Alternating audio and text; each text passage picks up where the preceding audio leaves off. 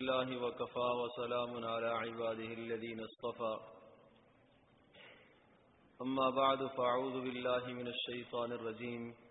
بسم الله الرحمن الرحيم. ما آتاكم الرسول فخذوه وما نهاكم عنه فانتهوا. صدق الله مولانا العظيم. اللهم صل على محمد وعلى آل محمد كما صليت على إبراهيم. وعلى آل إبراهيم إنك حميد مجيد. اللهم بارك على محمد وعلى آل محمد كما باركت على إبراهيم وعلى آل إبراهيم إنك حميد مجيد. نبی اکرم صلی اللہ تعالی وسلم کی حدیث مبارک ہے. لا يؤمن احدكم حتى اكون احب اليه من ماله ووالده وولده والناس اجمعين تم میں سے کوئی آدمی اس وقت تک مکمل ایمان والا نہیں ہو سکتا، جب تک اس کے نزدیک میں، اس کے والدین سے، اس کی اولادوں سے، اور اس کے مال سے، اور سارے لوگوں کے یہاں تمام جتنے بھی کائنات میں بسنے والے انسان ہیں سب سے زیادہ محبوب نہ بن جاؤں، اس وقت تک تم میں سے کوئی آدمی مومن نہیں ہو سکتا۔ آپ علیہ السلاۃ والسلام نے اس حدیث مبارک میں اپنا مقام اور مرتبہ بیان فرمایا ہے کہ نبوت کا وہ مقام ہے اور وہ مرتبہ ہے کہ رسول اکرم صلی اللہ علیہ وسلم کی ذات گرامی سے آدمی کو کتنی محبت ہونی چاہیے آدمی کو اپنی جان سے بھی زیادہ آپ علیہ السلاۃ والسلام کی ذات محبوب ہونی چاہیے۔ آدمی کو اپنے والدین سے بھی زیادہ نبی پاک صلی اللہ علیہ وسلم کی ذات محبوب ہونی چاہیے۔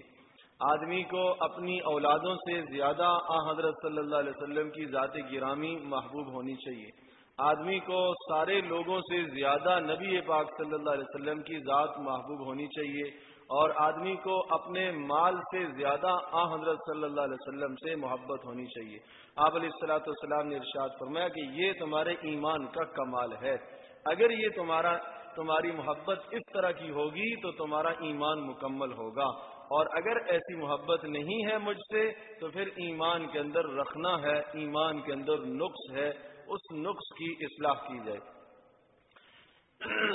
دوسری بات یہ ذہن نشین فرما لیجیے کہ عام طور پر جو محبت ہوتی ہے، محبت کے اسباب ہوا کرتے ہیں۔ کسی سے کوئی محبت کرتا ہے، اس کے احسانات کی وجہ سے۔ کسی سے کوئی محبت کرتا ہے، اس کے حسن اور جمال کی وجہ سے۔ کسی سے کوئی محبت کرتا ہے، کسی کے کمالات کی وجہ سے۔ نبی پاک صلی اللہ علیہ وسلم میں یہ تینوں چیزیں موجود ہیں۔ آ حضرت صلی اللہ علیہ وسلم کے احسانات بھی امت پر ہیں۔ کتنے احسانات ہیں۔ آپ علیہ السلاۃ والسلام نے اپنی بیویوں کا مسئلہ تو اللہ پاک سے حل کروا لیا، سب کے لیے جنت کا وعدہ اللہ پاک نے دے دیا۔ بیٹیوں کا مسئلہ بھی اللہ پاک نے حل کروا لیا۔ حضرت فاطمہ رضی اللہ تعالی عنہا کو اللہ پاک کی طرف سے یہ خوشخبری اور یہ بشارت مل گئی کہ جنت کی خواتین کی سردار ہوں گی۔ اپنے نواسوں کا مسئلہ بھی حل ہو گیا کہ آپ علیہ السلام کو بتا دیا گیا کہ جنت کے جوانوں کے یہ سردار ہوں گے۔ صحابہ کے مسائل بھی سب کے حل ہو گئے۔ ابو بکر کا نام لے کے جنتی ہونا بتا دیا۔ عمر فاروق کا نام لے کے جنتی ہونا بتا دیا، عثمان غنی کا نام لے کے علی المرتضی کا اور بے شمار صحابہ کے نام لے لے کے جنتی ہونا بتا دیا۔ پھر اللہ کے رسول صلی اللہ علیہ وسلم کیوں روئے ہیں اور راتوں کو اٹھ اٹھ کر کس کے لیے روتے تھے؟ وہ قیامت تک آنے والے سارے انسانوں کے لیے رونا تھا۔ وہ سارے انسانوں کے لیے ہمدردی تھی تو معلوم یہ ہوا کہ سارے انسانوں پر آپ علیہ السلاۃ والسلام کے بے شمار احسانات ہیں۔ احسان کی ایک مثال دیتا ہوں۔ آپ علیہ السلاۃ والسلام نے ارشاد فرمایا طوبا لمن رانی و امن بھی خوش نصیب ہے بڑا بڑا خوش نصیب ہے وہ آدمی کہ جس نے مجھے دیکھا اور میرے اوپر ایمان لایا۔ اور پھر یہ ارشاد فرمایا کہ طوبا سبع مرات کے ساتھ مرتبہ خوش نصیبی ہے اس آدمی کے لیے جس نے مجھے نہیں دیکھا اور میرے اوپر ایمان لایا۔ یہ کس کے لیے تھا؟ یہ میرے اور آپ کے لیے اور قیامت تک آنے والے سارے انسانوں کے لیے۔ آپ نے سات مرتبہ مبارکباد دی اور سات مرتبہ خوش نصیب ہونا بتایا۔ جنہوں نے دیکھا ایمان لایا، ایک مرتبہ ان کے لیے۔ جنہوں نے نہیں دیکھا اور ایمان لائے، ان کے لیے سات مرتبہ آپ نے یہ جملہ ارشاد فرمایا۔ تو نبی کا کتنا اس امت پر احسان ہے؟ تو عرض کر رہا ہوں کہ کسی سے جو محبت ہوتی ہے، احسانات کی وجہ سے ہوتی ہے۔ آپ علیہ السلاۃ والسلام کے بے شمار احسانات ہیں۔ کسی سے محبت ہوتی ہے، اس کے کمالات کی وجہ سے۔ تو نبی پاک صلی اللہ علیہ وسلم کے اندر جو کمالات ہیں، سارے نبیوں کے کمالات آپ علیہ السلاۃ والسلام کی ذات گرامی کے اندر جمع ہیں۔ سارے نبیوں کی خوبیاں آپ علیہ السلاۃ والسلام کے اندر جمع ہیں۔ کسی سے محبت ہوتی ہے حسن اور جمال کی وجہ سے اللہ پاک نے آ حضرت صلی اللہ علیہ وسلم کو جو حسن اور جمال عطا فرمایا، ایسا حسن کسی کو کائنات میں نہیں دیا گیا۔ یوسف علیہ السلاۃ والسلام کے متعلق آتا ہے کہ کائنات میں اللہ پاک نے انہیں جو حسن دیا ہے، آدھا حسن یوسف علیہ السلام کو ملا، آدھا حسن باقی کائنات کو ملا۔ لیکن یہ آدھے کی تقسیم کب ہوئی کہ رسول پاک صلی اللہ علیہ وسلم کے لیے حسن علیحدہ نکال دیا گیا، جو باقی بچا اس باقی کی تقسیم آدھا یوسف علیہ السلام کے لیے اور آدھا باقی کائنات کے لیے۔ تو آپ اندازہ کر لیجیے کہ آ حضرت صلی اللہ علیہ وسلم کو اللہ پاک نے کس قدر حسین بنایا، کتنا اللہ پاک نے انہیں حسن دیا۔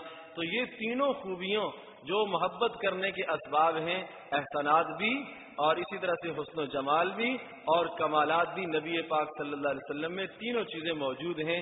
لہذا آ حضرت صلی اللہ علیہ وسلم سے جو ہمیں محبت ہونی چاہیے، وہ جان سے بھی زیادہ ہونی چاہیے، اپنے مال سے بھی زیادہ ہونی چاہیے، اولاد سے بھی زیادہ ہونی چاہیے بیوی بچوں سے بھی زیادہ ہونی چاہیے، والدین سے بھی زیادہ اور سب کائنات سے زیادہ محبت ہونی چاہیے۔ یہ محبت ہوگی تو ارشاد فرمایا کہ پھر تمہارا ایمان مکمل ہوگا۔ اب یہ بات بھی ذہن نشین فرما لیجیے، مفسرین نے، علماء نے بہت کتابیں اس مضمون پر لکھی ہیں، حقوق المصطفیٰ، کہ نبی پاک صلی اللہ علیہ وسلم کے ہمارے اوپر کیا حقوق ہیں۔ بے شمار حقوق ہیں۔ ان میں سے تین موٹے موٹے بڑے بڑے حقوق عرض کرتا ہوں۔ اگر ان تین حقوق کی پابندی کر لیں گے اور یہ تین حق نبی پاک صلی اللہ علیہ وسلم کے ادا ہم کر دیں گے، تو ایمان کا کمال نصیب ہو جائے گا۔ پہلا حق، عظمت نبی۔ نبی پاک صلی اللہ علیہ وسلم کی عظمت اور بڑھائی دل میں ہو۔ کتنی عظمت ہو۔ اللہ تبارک تعالیٰ کے بعد جو مقام اور مرتبہ ہے اور جو تعظیم کی جا سکتی ہے، وہ نبی پاک صلی اللہ علیہ وسلم کی تعظیم ہے۔ آپ علیہ السلاۃ والسلام کی جتنی تعظیم، اتنی تعظیم کسی اور کی نہیں ہے۔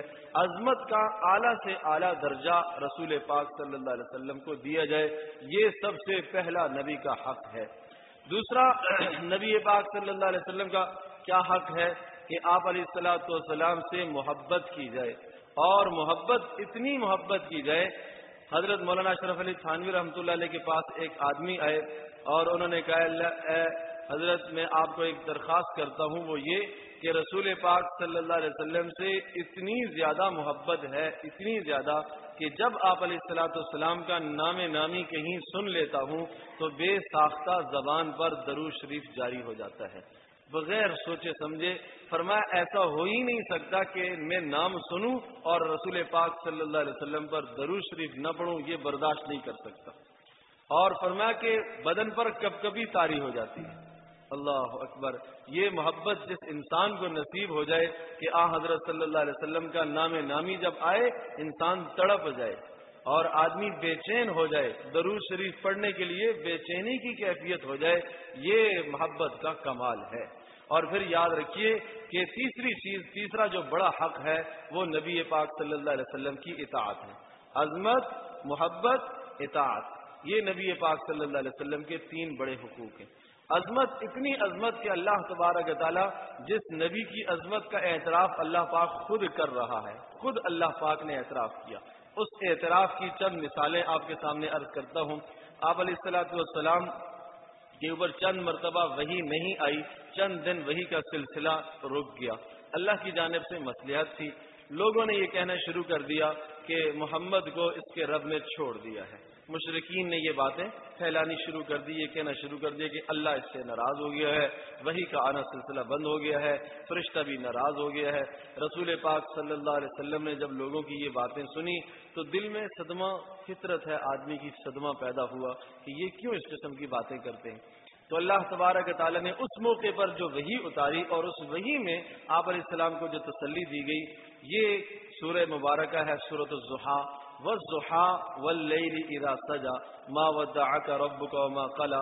وللآخرة خير لك من الأولى. ولا سوف يعطيك ربك فترضى. مجھے امید ہے کہ آپ میں سے اکثر کو یہ صورت یاد ہوگی.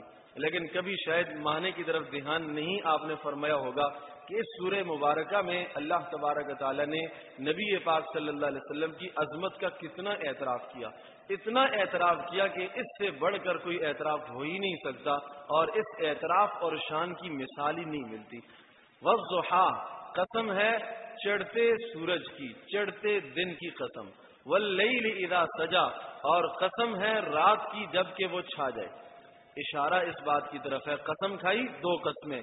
پھر ما ودعا کا ربو کا و ما خلا۔ تیرے رب نے تجھے چھوڑا بھی نہیں اور تیرا رب تجھ سے ناراض بھی نہیں ہے۔ اللہ پاک کو قسم کی کیا ضرورت تھی؟ میرے عزیز دوستوں بزرگوں سمجھانے کے لیے، نبی پاک صلی اللہ علیہ وسلم کو تسلی دینے کے لیے اللہ پاک نے دو قسمیں کھائیں۔ اور قسم بھی چڑھتے دن کی اور اندھیری رات کی قسم۔ جس طرح سے جب دن چڑھا ہوا ہوتا ہے اور سورج دوپہر کے وقت میں ہوتا ہے، زوال کا ٹائم ہوتا ہے، دھوپ خوب گرم ہوتی ہے، کسی کو شبہ نہیں ہو سکتا کہ سورج ہے یا نہیں۔ کسی کو شبہ نہیں ہو سکتا، اس دن کے ہونے میں کسی کو شبہ نہیں ہو سکتا۔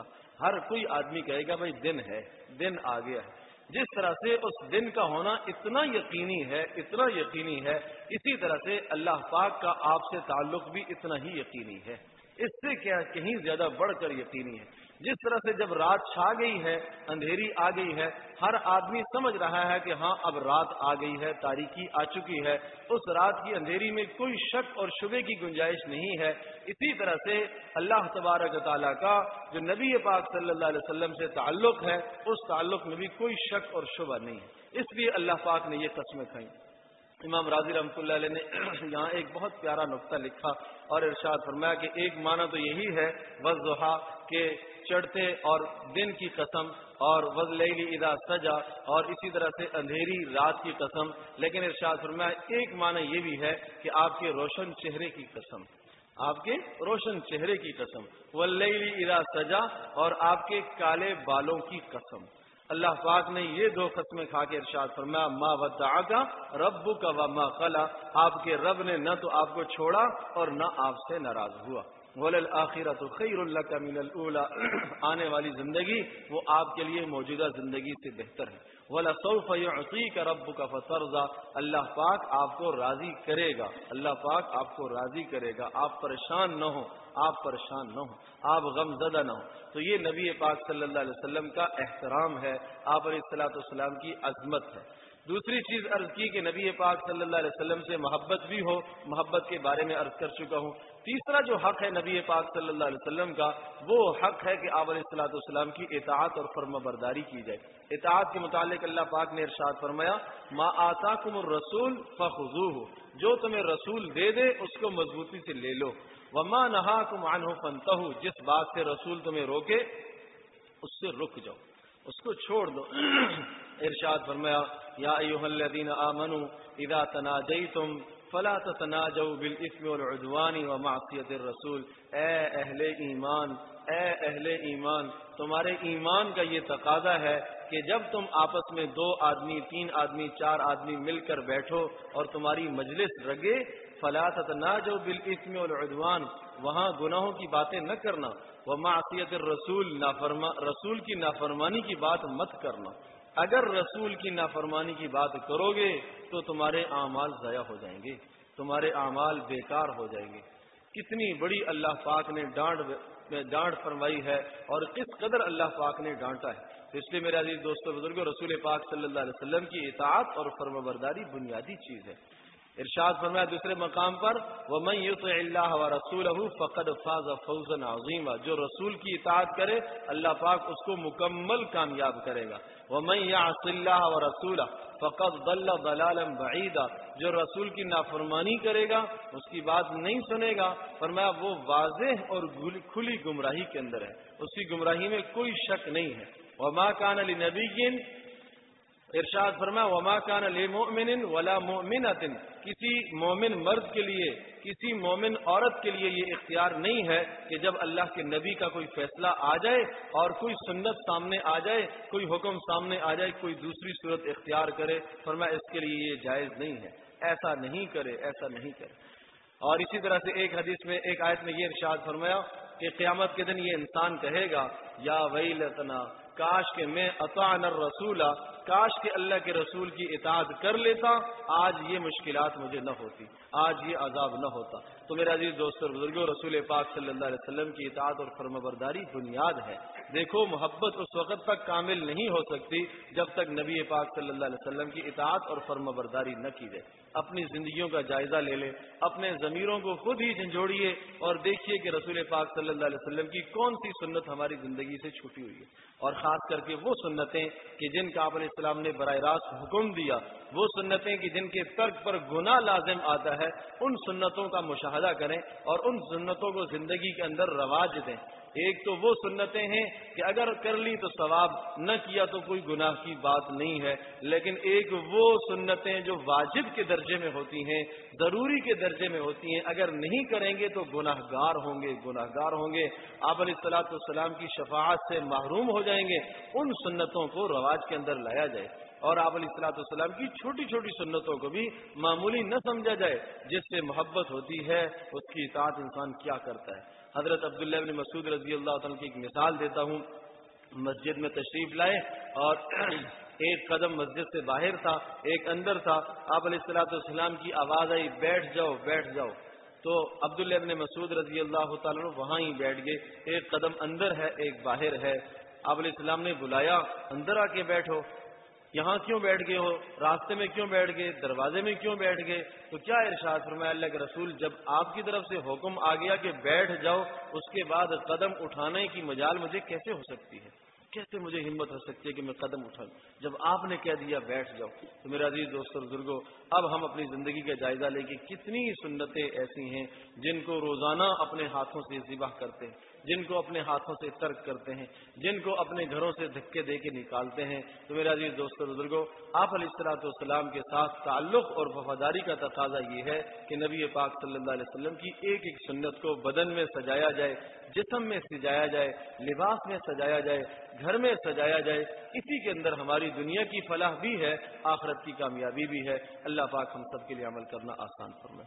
الحمد لله رب العالمين، والصلاة والسلام على سيد الانبياء المرسلين وعلى آله وصحبه وأمته أجمعين. أرحم الراحمين أرحم الراحمين. اپنی ذات علی کی سچی محبت نصیب فرما۔ اے اللہ حبیب صلی اللہ علیہ وسلم کی سچی محبت نصیب فرما۔ اے اللہ علیہ السلاۃ السلام کی اتباع نصیب فرما۔ اے اللہ عظمت اور احترام کرنے کی توفیق نصیب فرما۔ اے ارحم الراحمین، اے ارحم الراحمین، جس طرح سے تو چاہتا ہے، اے اللہ اس طرح سے ہمیں محبت کرنے کی توفیق نصیب فرما۔ اے ارحم الراحمین افراد اور تفریح سے تو ہم سب کی حفاظت فرما، ہدایات اور رسومات سے تو ہم سب کی حفاظت فرما۔ اے اللہ، ہمارا یہ بیٹھنا اپنی بارگاہ میں قبول فرما۔ اے اللہ، اس بیٹھنے پر ہمارے گناہوں کو معاف فرما۔ اے اللہ، درجات بلند فرما۔ اے اللہ، مغفرت کے فیصلے فرما۔ اے ارحم الراحمین، اس مجلس کے برخاست ہونے سے پہلے پہلے ہم سب کی تو مغفرت فرما دے۔ اے اللہ، ہم سب کی تو مغفرت فرما دے۔ اے اللہ، ہم سب کی تو بخشش فرما دے۔ اے ارحم الراحمین اپنے حبیب صلی اللہ علیہ وسلم کے حق ادا کرنے کی توفیق نصیب فرما۔ اے اللہ ہماری دعاؤں کو قبول فرما۔ وصلی اللہ تعالی مل کریم والے سلمت رحمت